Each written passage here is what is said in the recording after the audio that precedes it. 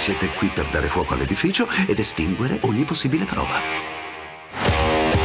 Me lo tolga dalla faccia. Non è sulla sua faccia, è nella mia mano. Madame, si fidi, sono un professionista.